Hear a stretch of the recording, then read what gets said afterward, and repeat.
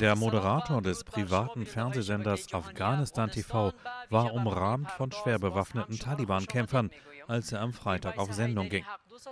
In seiner Einführung zur Sendung versprach er, einigen Behauptungen, die es über die Taliban gebe, auf den Grund gehen zu wollen.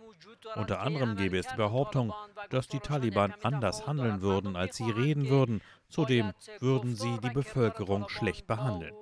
Dann kam ein ebenfalls im Fernsehstudio anwesender Taliban-Kommandant zu Wort. An diesen Behauptungen sei nichts dran, sagte er. Wir konzentrieren uns auf die Menschen, damit das Land gedeiht und sie unter dem Dach eines islamischen Systems leben. Meine erste Botschaft an die Nation lautet, macht euch keine Sorgen, bleibt und lebt in eurer Heimat und in euren eigenen Häusern. Eure Heimat braucht euch und wir werden euch beschützen. So Gott will, werden wir versuchen, in allen Provinzen Afghanistans eine sichere Atmosphäre zu schaffen, damit sich die Menschen nicht sorgen und keine Angst vor den Mujahideen haben, denn sie sind unsere Brüder und wir beschützen sie.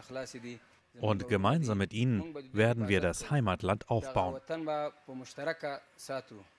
Die Taliban, die vor 20 Jahren, als sie das letzte Mal an der Macht waren, öffentliche Hinrichtungen durchgeführt hatten und Mädchen und Frauen den Schulbesuch und die Arbeit untersagt hatten, haben erklärt, dass sie die Rechte der Frauen schützen und keine Rachefeldzüge durchführen werden. Die Zweifel an diesen Zusagen sind aber groß.